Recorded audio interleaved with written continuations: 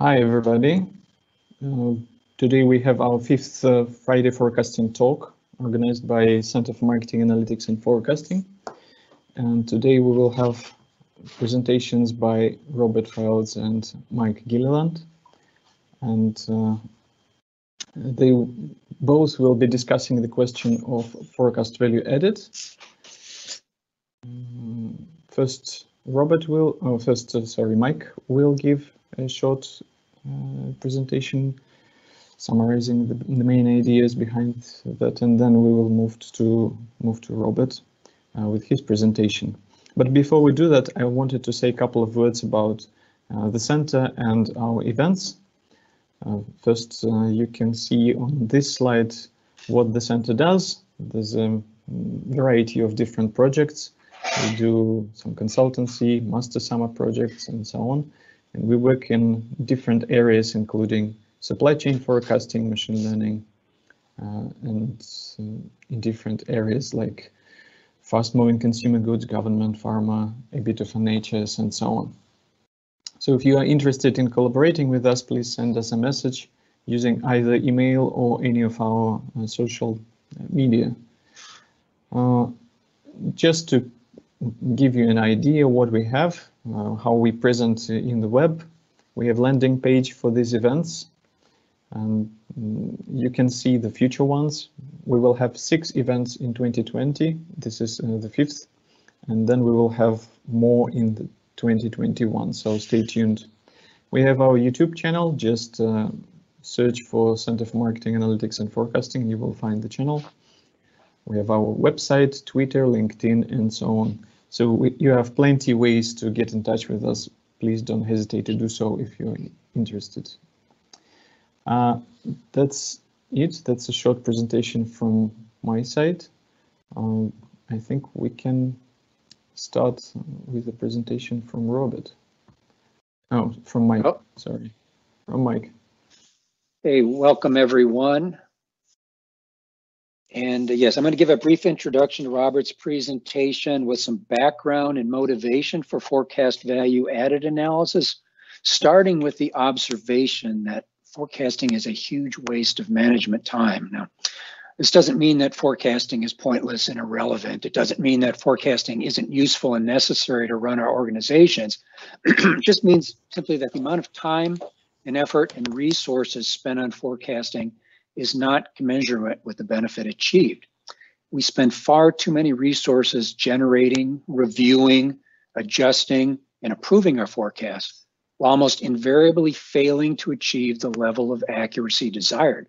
So my argument is that the conversation and the focus need to change, to change from esoteric model building to the forecasting process itself, its efficiency and its effectiveness. In short, perhaps the best way to get better forecasts is to stop making them worse. Something Steve Morlidge has, has referred to as avoiding the avoidable error. And that's what FVA is all about. So let's take a look at a typical business forecasting process. Here your data is fed into software that generates what we refer to as the statistical forecast. It then gets reviewed and overridden by a demand planner or forecast analyst before feeding into a more elaborate collaborative or consensus process. And then ultimately in many organizations, a final review step by executive management where they can make further overrides. Now, this typical process consumes obviously large amounts of management time and company resources. But we know that business forecasting can be a highly politicized process where participants inflict their biases and personal agendas on the computer generated number, especially if what the computer says is not what they want to see. So I'm going to suggest that the important question is not what accuracy did our process achieve, but rather is the process adding value? Are we making the forecasts more accurate and less biased by all our efforts? How would we ever know? Well, the common traditional metrics like MAD and MAPE themselves, by themselves, do not answer that question. Steve Morlidge has a nice quote here that forecasting performance can be quickly improved if you know where to look, but that the conventional metrics like MAPE shed little light on the issue. So sure, these common metrics tell you the size of your error, but by themselves don't tell you how efficiently you are at achieving the accuracy that you reach or whether you're forecasting any better than some cheap alternative method. These are the sorts of things that FVA aims to find out. So FVA is defined as the change in a forecasting performance metric. Whatever metric you happen to be using, it's the change in that metric that can be attributed to a particular step or participant in the forecasting process. It's measured by comparing the results of a process activity to the results you would have achieved without doing that activity. So FVA can be positive or negative. Now you can think of FVA analysis as the application of basic traditional scientific methods to forecasting. You start with a null hypothesis that your forecasting process has no effect. You then measure the results of steps in the process and try to determine whether you can reject that null hypothesis and thereby conclude that there is an, there is an effect, either good or bad. Now, there's a nice analogy here to testing a new drug for its safety and effectiveness uh, by, by comparing it to a control group taking a placebo. We're doing a similar thing with FVA analysis with the naive forecast serving as the placebo. So let's look at a very simple forecasting process. Here the data goes into the software, generates the statistical forecast, which then can be reviewed and overridden, about as basic as you can go. In FVA analysis, you compare the analyst override to the statistical forecast, but then compare both to what the naive forecast would have generated, the naive serving as the placebo. Here's an example of a very basic style of FVA report known as the stair-step report. This example was, was uh, shown by a couple gentlemen from Newell Rubbermaid back in 2011. Across their entire product line, this is thousands of products, overall they achieved using a, a naive forecast, forecast accuracy would have been about 60%. However, with their forecasting software, across their full product line, they achieved forecast accuracy of 65%, which, as you see in the third column, is a five percentage points of value added by the statistical forecast. However, the final forecast, or all, after all the adjustments that have been made by management, was only 62% accurate. So all their time and effort they spent on forecasting had the net result looking at that lower right hand corner there of reducing forecast accuracy by three percentage points. This is not an uncommon finding. This is the thing we're trying to identify and avoid with FVA analysis. So um, Paul Goodwin in his book, Profit from Your Forecasting Software, has a nice little section on FVA, including just some warnings and interpreting the results. You know, you need to be cautious in doing this. You you can't draw conclusions from insufficient data and insufficient evidence. Obviously, if you just have a limited uh, number of data points, the observed res results may be due strictly to chance. So you can't jump to conclusions. Also, Robert in, in his writings has, has made a very important point that there can be variation in the FVA results depending on what particular metric you're using as part of the FVA analysis. So just be aware of that. And finally, as it is in most cases, graphical representation of the data can be very helpful.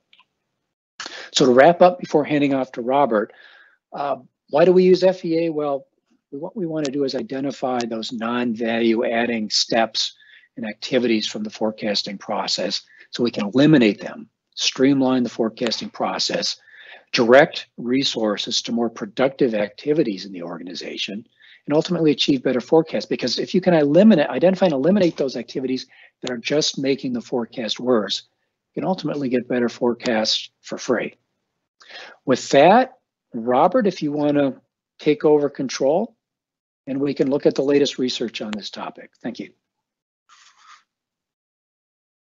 Thanks, Mike. So Robert will now share his uh, slides and we will send him live.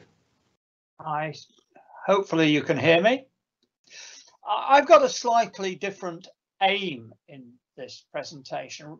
Mike has given an excellent uh, skeleton of what FVA, FVA, forecast value added, is about. I've been re-looking at some of the evidence and raising some questions. And I want to share with you uh, the uh, what I've found. I've not actually completed the work, but we're starting to find some interesting facts. And uh, this quotation uh, from O. Henry, a, a, Henry short story by way of Kendall, Stuart and Ord, the famous statistical uh, background explains what I'm up to. I really am trying to take the various studies, and there aren't that many of them that have been published. There's lots of semi-anecdotes uh, about when forecast value added adds value and when it when actually diminishes the value. But actually, we want to look at large amounts of data. So that's the aim. Uh, that's the outline. Um, I'm going to raise one or two questions. Why is it still practically important? Uh, then present some of the evidence. Uh, getting to the core question, does forecast value added? Uh, is it positive usually? Do we do we actually gain from these various processes? And finally, uh, for discussion with Mike, can we manage the process to deliver improvements? And that's where we get uh, really quite speculative. I know of companies, and I'm sure Mike does as well, that are trying to, but many companies don't focus at all on FVA. So just to put the process in the somewhat of the same context, we've got the demand planner in the middle of uh, data, one way or another, getting some uh, information from marketing, sales, logistics through an S&OP process, um, a forecasting system which delivers forecasts. Let's envisage two alternatives and some such as SAP, uh, parts of the SAP system will give you a choice of different forecasting methods to produce a statistical forecast. The demand planner then one way or another through the process produces a final forecast. So we've got a statistical forecast, we've got information, and uh, we've got uh, our job then is to incorporate that information one way or another uh, to produce a final forecast where judgment is a key component of the integration. So what is forecast value added? Uh, again, I repeat a little from a slightly different perspective uh, of the details that Mike gave. But the idea, we've got one method, B, and we want to compare it with method A and then add, ask the question, does method B add anything at all? Um, in fact, as I'll sh show in the next slide, most companies, one way or another, use judgmental expert or judgment through often a very complicated process to support their operations and modify their statistical forecast. So there we've got a simple, a reasonably simple statistical forecast. Uh, exponential smoothing, but we've got a variable x, which I'm going to come back to x.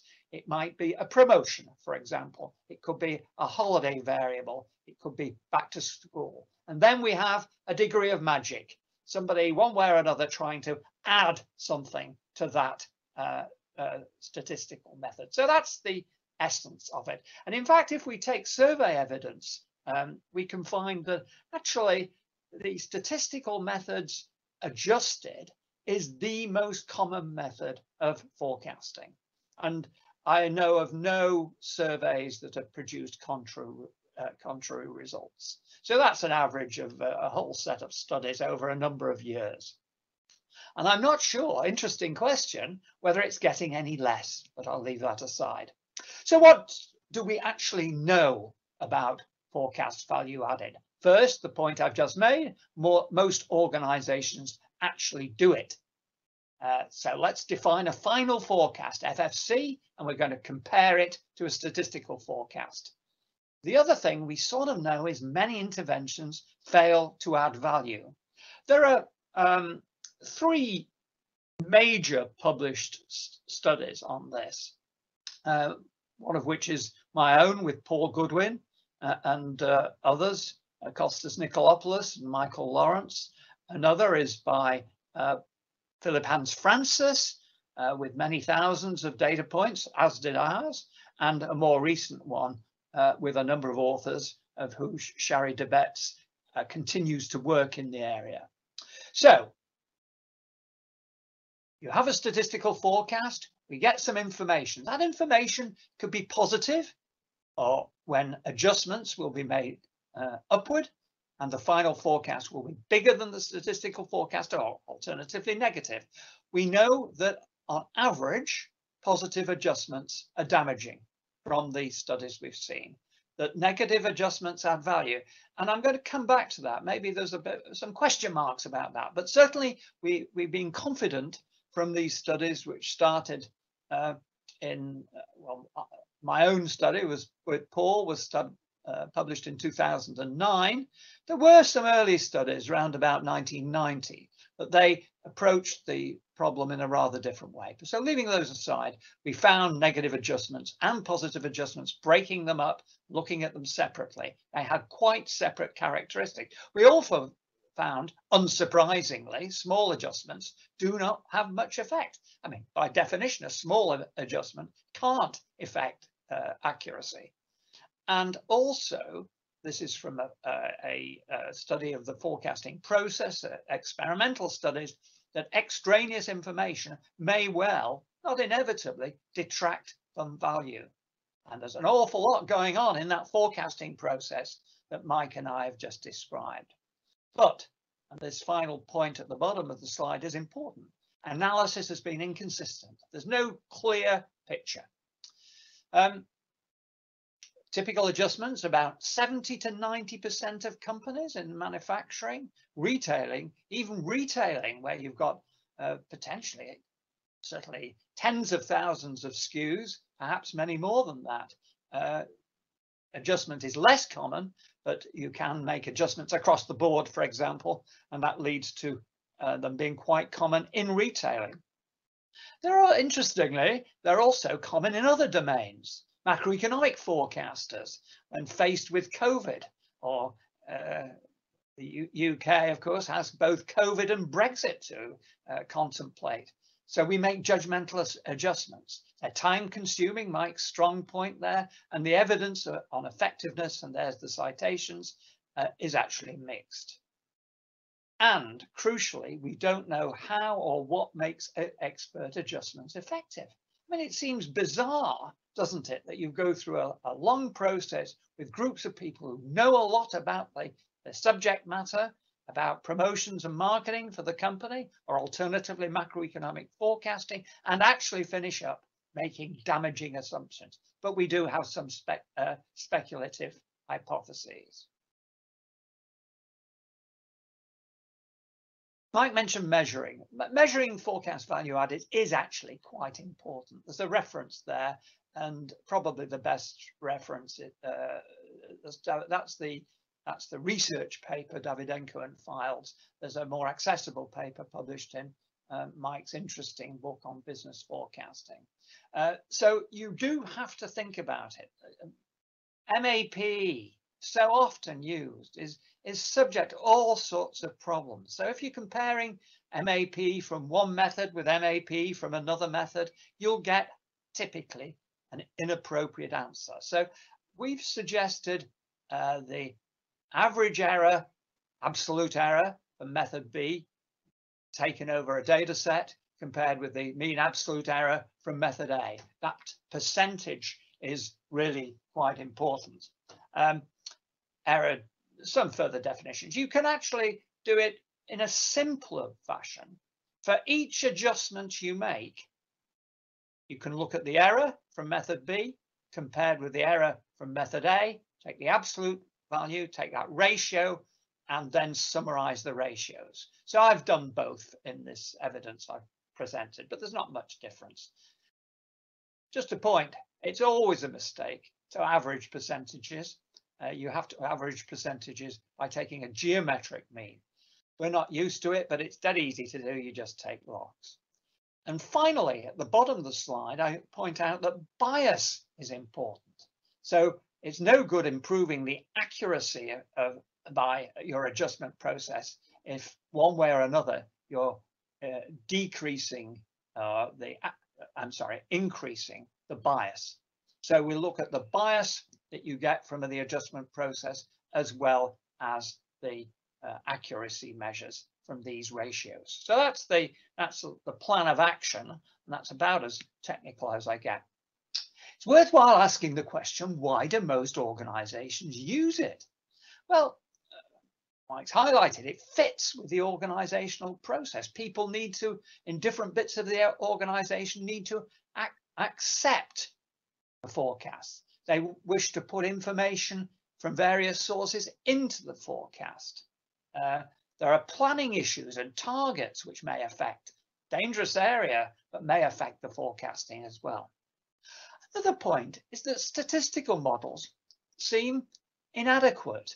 And we use an example in a paper that Paul and I are have uh, published or are publishing in the International Journal of Forecasting, where essentially the people forecasting regarded the sales as part, uh, part of a product life cycle. So there we've got a product life cycle. Uh, now they used an exponential smoothing algorithm, uh, but they modified the exponential smoothing because obviously an exponential smoothing uh, method can never produce, and there you see uh, some forecasts from it, never produce a product life cycle. So the statistical model seems inadequate. Alternatively, the statistical model is inadequate because it doesn't include unique events such as promotions and promotions turn out to be the major reason that people actually uh, modify the forecast along with holidays. So where's the evidence? Here are the databases. I'm going to add some others. I'm uh, spent a bit of this morning discovering my bad computer programming, um, slowly making progress. The aim is a consistent analysis of all available data sets. So we get some clear feel. One of the issues with adjustments is outliers uh, affect the numbers really quite badly. Just to give you an example, which I'll, I'll probably come back to very briefly later. But um, in one of the companies we looked at, the, the forecasters would every so often set the their forecasts to zero. So they got a statistical forecast, a non-zero statistical forecast, and they set it to zero. It gives a very uh, typically a large 100% adjustment, negative adjustment. I've already said that negative adjustments work well but they don't for this company when you set them to zero. Those were terrible forecasts. So those are outliers that one way or another can quite distort your analysis. So we actually want to uh, get a consistent analysis across companies so we can find some uh, findings that actually make a lot of sense and are robust.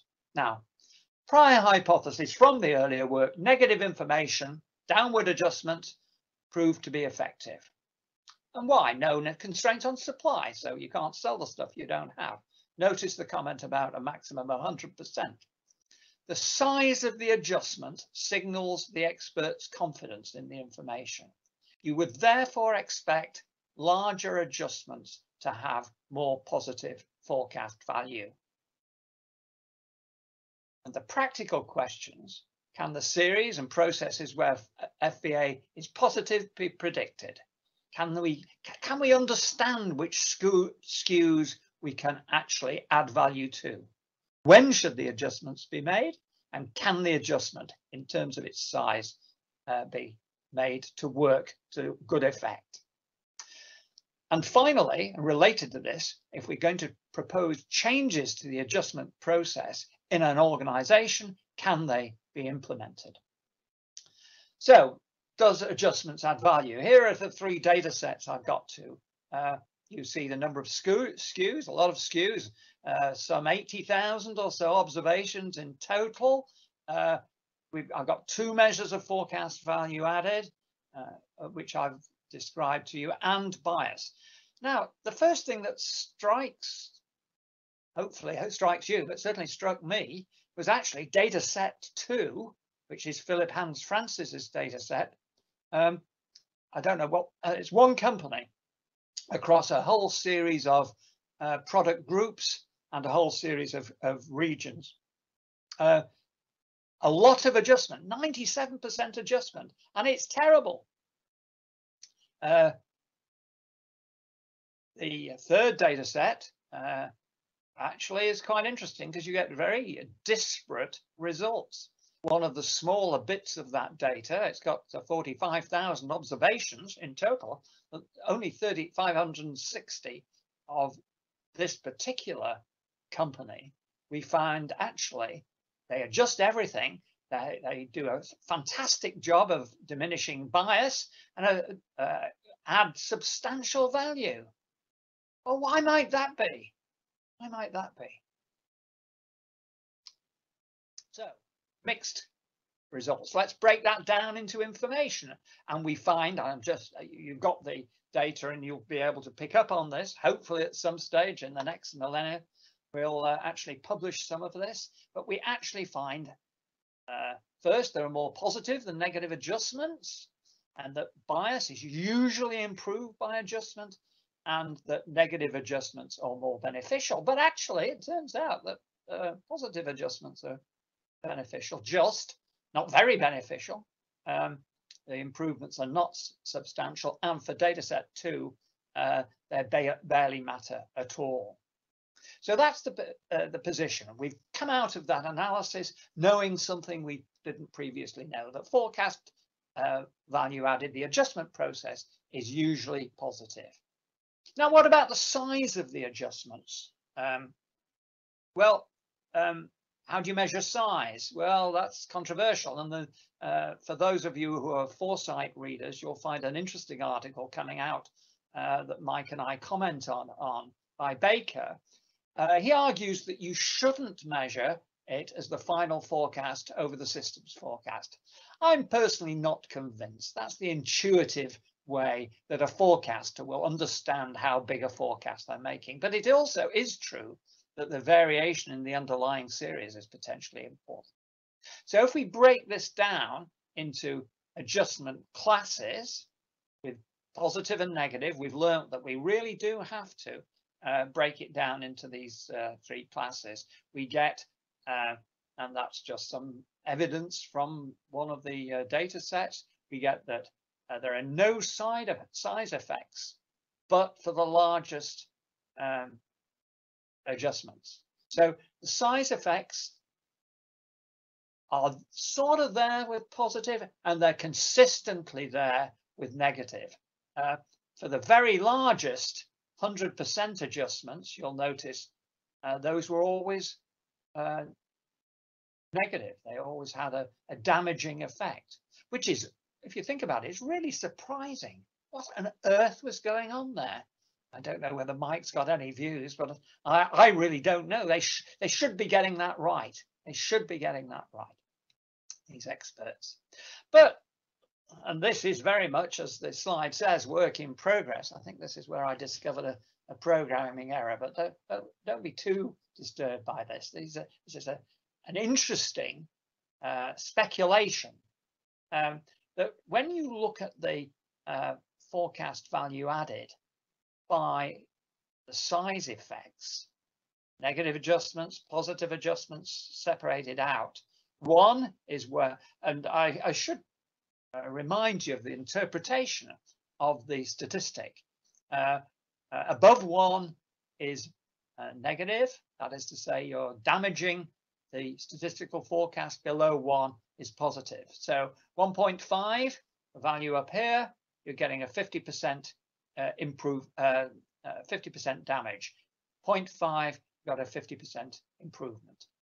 And you see for negative, as you move the size of the adjustment down, you get really quite large improvements there. Uh, whilst here, they're a bit all over the place, but actually you know, these two, two classes are not too bad um, in terms of their the, the line across there in a uh, box plot is the median, but you also see uh, very long tails. The problem, perhaps, is too many poor positive adjustments. So question, and that, that comes to the management of the process. So what goes wrong? Well, one possibility is optimism bias. What is optimism bias? Well, it's when the final forecast is, is larger than the actual. Um, over adjustment maybe where you uh, are under adjustment uh, for positive the final is greater than the actual for negative the final is less than the actual so there's some overlap between optimism uh, bias uh, and uh, over adjustment so uh, optimism bias and overadjustment is the same for positive information for example other uh, features. The failure to account for consistent errors in the system forecast.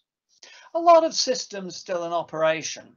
Uh, obviously, we, we exempt SAS from this uh, criticism, Mike, but a lot of systems are really pretty simple. Exponential smoothing or extensions of exponential smoothing.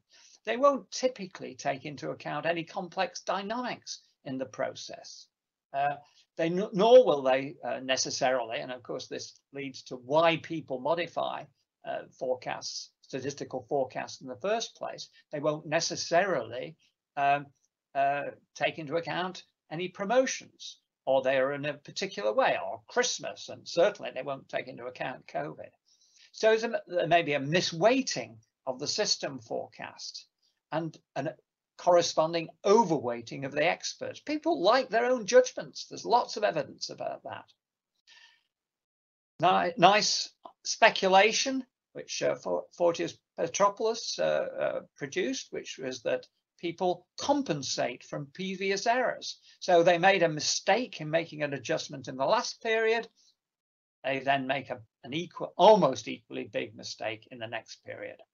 And finally, leading to the uh, overly simple uh, models, a misweighting of events. They don't take into account things like uh, promotions. Uh, and promotions, of course, come in a lot of shapes and sizes. What about optimism? Well, I need to move relatively quickly on. As I said, it occurs when the file is greater than the actual. Um, uh, and when adjustments are, oh, I'm sorry, let's get back there. Does optimism improve or damage forecast value added? So we've calculated these statistics. And the conclusion, is, which is robust, it turns out, over uh, data sets, is that optimism is damaging for upward adjustments. The negative adjustments beneficial. Uh, so we need to essentially, because you're giving more attention to the systems forecast, you're um, you're not uh, you're, you're, upgrading the systems forecast with when the information is negative. So optimism then a mixed picture. is not consistently negative. What about over adjustment? Uh, over adjustment, uh, up or down, leads to damage.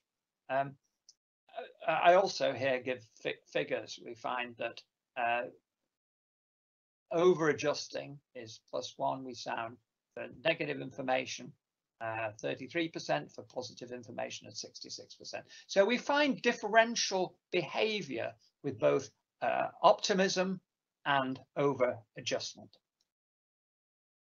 So coming to conclusion, what we uh, I, I, the title of the talk uh, was what we should know about forecast value added. I've really talked about what we do know about forecast value added, what we've learned from this evaluate, uh, evaluation is that there are characteristic biases that lead to poor or negative forecast value added. Size, direction, optimism, adjustments. Um, for many companies, expert adjustment has more potential uh, than improved statistical forecasts. Some of the gains, the figures that I've shown you, are really very substantial, uh, exciting. Um, now, there are a number of possible explanations about this. Uh, one explanation is that statistical methods are very poor. We'll come to that in the uh, discussion. But there is, where you've got a poor statistical method, there's a lots of possible forecast value added. But we need to understand the SKU level characteristics and, and processes that deliver it. Uh, what levers we can exert to guide people. There aren't very many ways of uh, changing uh, forecasters' behavior. We want we can guide them, we can make recommendations, or we can restrict them insofar as we've been able to test out. Uh, restricting people to make adjustments is potentially uh, dangerous. I mean, first, it demotivates. Alternatively, it leads to game playing, where uh, somebody who's restricted to make uh, all adjustments have to be greater than 20% or greater than 50%, they were going to make a 20% uh, uh, adjustment, but they'll one way or another modify it. So, and so that they get the number that they first thought of. So how can recommendations be implemented? That's the, the core question. And we really don't understand very much. So what's the takeaways? This has been, uh, in a sense, a bit of an academic talk that I've given some, uh, hopefully, clear information of where you can get gains. Um, but there's still a long way to go. The first obvious point, picking up on the notion that forecast value added analysis often wastes time, is focused only on important products where there's plenty of improvement, plenty of room for improvement, where the statistical forecast errors are typically large. Monitor forecast value added. I don't think in my travels I've come over more than a small number of companies which monitor their forecast value added analysis, given that almost all companies actually do it. Uh, and you want to monitor by category, by SKU, by region. We did some early analysis uh, with a, um, a retailer and we found, oh, I'm sorry, not well, it was a manufacturer. And we found that what really affected uh, their accuracy, performance, and their forecast value added was who they were selling into. Some companies were very hard to sell into. It meant that forecasts were inaccurate, that expert knowledge was hard to come by. Other companies were much more straightforward. So you do need to do that, that uh, uh, subdivision analysis. And in fact, I've seen some um, examples uh, uh, some examples of where that's implemented in some very attractive computer software. But this is a rare uh, situation. And finally, store event data to link to error. We need to know what, we're not understanding. Um, the companies may be managing some of the first three. Some companies are already managing. And the final point is about machine learning. Machine learning is sometimes uh, recommended by consultants as a way of eliminating the demand planner. Some of you are probably demand planners in the audience, and I doubt that you particularly wish to be eliminated uh, by machine learning or any other method. But I don't think we need to worry about it because uh, of the complexities. And think about the COVID crisis. One way or another, there's plenty of information that experts should know and guiding them to make suitable adjustments is the, the next task for researchers and software designers and, and consultants. Thank you. Thanks, Robert. Uh, so we have several questions and I will use my power as a producer of this event to first ask a question, question by Sven because I think it's more related to your uh, presentation mainly, and then we will move to other questions. Sven's uh, question is, well, he's saying that it wasn't fully clear if the F FVA that you presented for the three data sets was estimated from naive to judgment or stats to judgment. So maybe you can clarify that. Uh, yes, it, uh, stats to judgment. It was their statistical methods.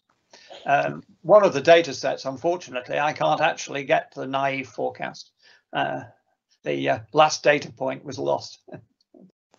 okay, thanks. Uh, right, so we have uh, other questions. First, Nicolas Vandeput is asking, he's saying that he usually advises practitioners to edit forecasts only when they have uh, some piece of information that is not taken by the model into account. And he gives an example with price. So if we know that price will change, then you might want to introduce some changes.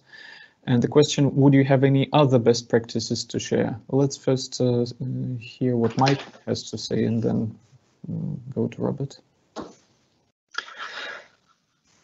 Yeah, I, I, think we definitely see way more adjustments to forecast that needs to be done. The first definite piece of advice is small adjustments, completely waste of time, even if they're correct they're going to make such a small difference, they're probably not going to change any decisions or actions being taken by the organization. So just don't even do those. And, and the other point Robert brought up was focus.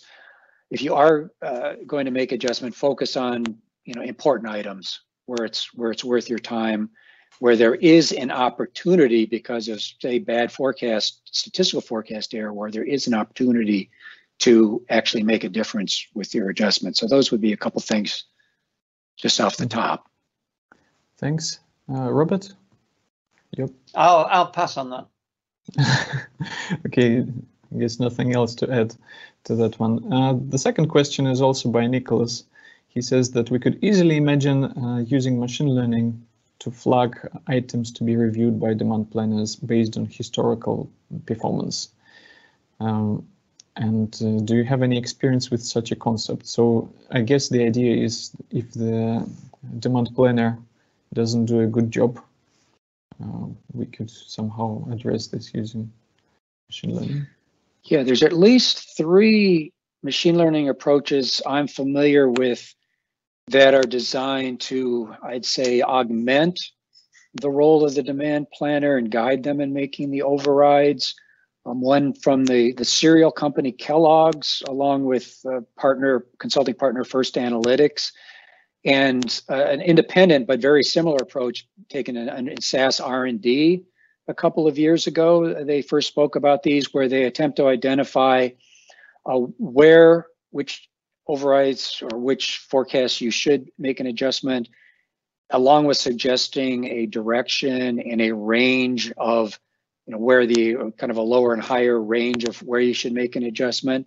And the most recent one, which uh, Robert brought up from Jeff Baker, he currently works for company Chainalytics, using a machine learning uh, with a classification tree based on various characteristics to tell you whether or not you should make such an override.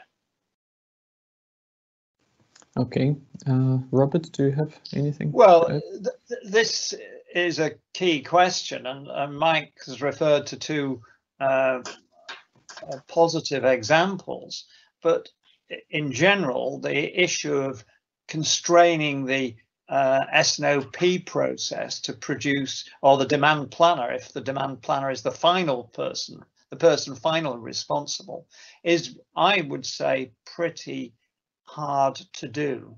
Uh, the, the HCI, we've joined with the dog here, the HCI uh, literature uh, has talked about restrictiveness, as I mentioned, and guidance. Um, and uh, guidance is typically downplayed. They, they, people don't listen too much to the uh, guidance they get. So that this is the research challenge, and it also translates into software. So you uh, offer some guidance, and, and possibly this uh, relates also to the previous question. You offer some guidance. We think the price effects are going to be a certain amount. Uh, we know the model doesn't include price.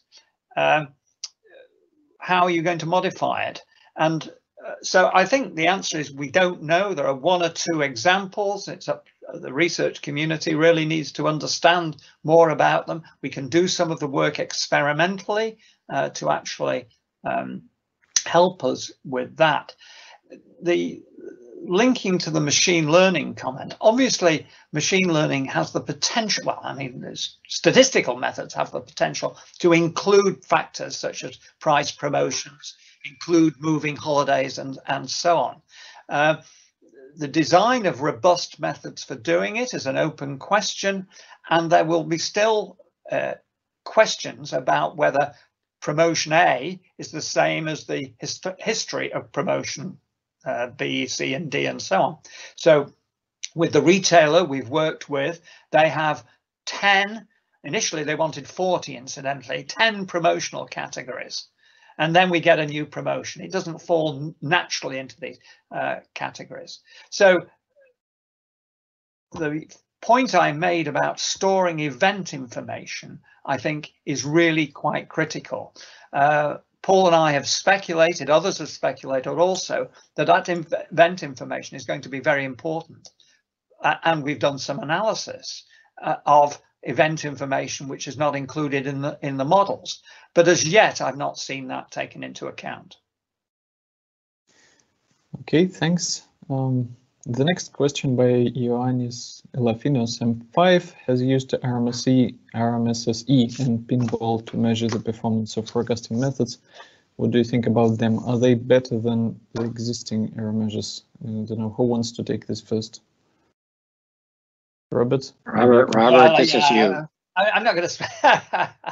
uh, well, the um, the re- the relative mean square error performance, I don't I don't think is a particularly uh, root relative root mean square error performance. I don't think is a particularly good measure.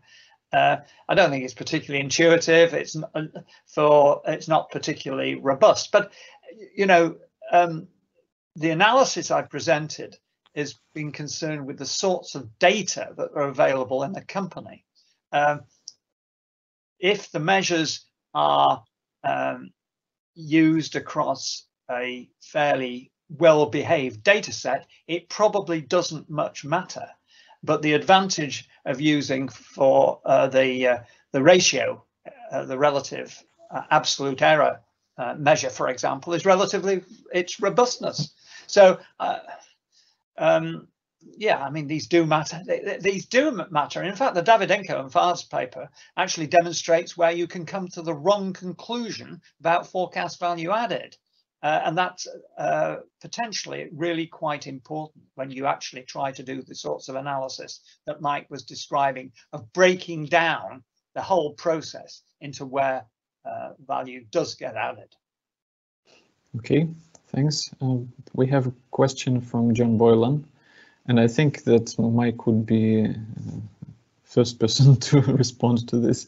Uh, should FVA be FF, FAA, so forecast accuracy added? Should there be a complementary measure showing the financial effects of different stages in the forecasting process? Uh, ultimately, that's what you're trying to do is improve the, the, the performance of the company overall. That's just a difficult adding a putting a dollar value to any of this stuff. I just find is a very difficult problem uh, to get a precise, a non-ambiguous answer to these things. So I think it would be great if if someone could advance the FVA idea into that and actually dollarize the value of these adjustments. I think that's just beyond my skill set for sure. Mhm. Robert? You could at- you could at least um, measure some of the time that's spent. Uh, the case study that uh, we're publishing in the International Journal of Forecasting, uh, the I think each month the company had something like 40 meetings uh, with uh, you know a number of people. I mean, it was a large number. I may be uh, overstating it, but nevertheless extremely costly. So at least we can look at the staff costs. Okay, thanks. Right, next question by Carlos. It's a long one. Some companies have an aggregated forecast model and they use that to calibrate or to adjust what is generated by individual SKU models. Sometimes this produces a large number of manual adjustments on the SKU statistical forecasts. Do you have any comment about this practice? So I guess the idea is that uh, there's too many adjustments to make and so on. Well, I, can at least uh, uh, make a quick comment, and this relates to uh, uh, Anna's, uh, my doctoral student's work on retailing, where a, a category adjustment will be made as well as a, a local store level adjustment, for example. As to the relative effects on accuracy, um, I await the results basically, but uh, I think they, uh, uh, you know, it's an interesting question. If you take a retailer, uh, it, it has to be done um, at the aggregate level, you know, to take into account, for example, the changing Christmas patterns uh, will be, uh, if you can imagine the adjustments being made in in uh, England or the UK when we come out of lockdown very briefly, you know, how, how would you adjust uh, for 40,000 SKUs? You know, it, it's really very difficult. And one way or another, you're going to have to do generic adjustments, uh, which are potentially modified uh, by classes of store and classes of product. Uh, but we don't have any understanding at all about the uh, results of the, these adjustments, or at least I don't. I don't know whether you do, Mike. Yeah, Mike, do you have anything to add?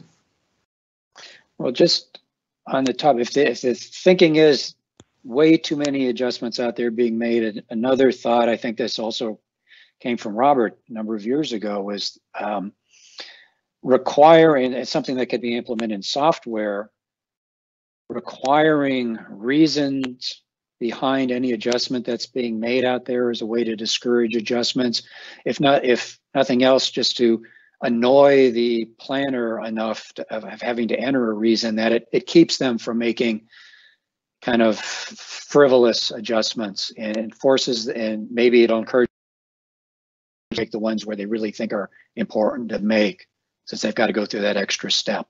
I mean, that's a way of somewhat restricting and limiting it without, you know, forcibly restricting adjustments you can make. Mm -hmm. Good. We have a few other questions. Thanks for these. Uh, Sergei Terehov uh, asks, what about influence on uncertainty of forecast, not just the expected value? I don't know who wants to take this first. I do have a stab at that, um, although it's not related to business forecasting.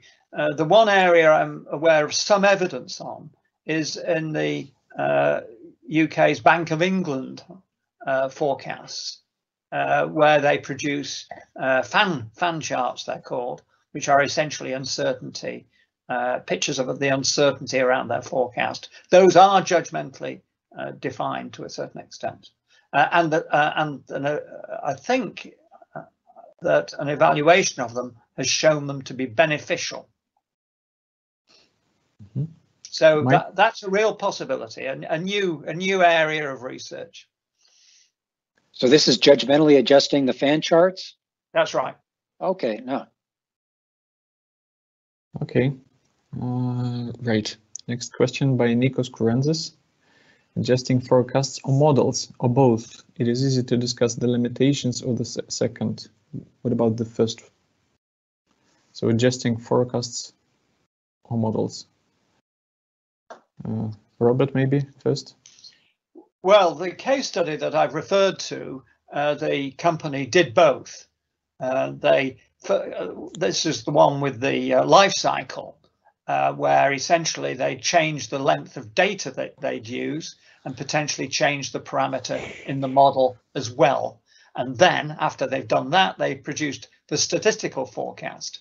Now, it turned out that after those adjustments, the, the forecast was uh, not really very different from Forecast Pro's automatic forecast of the data. Um, there's almost no difference in accuracy.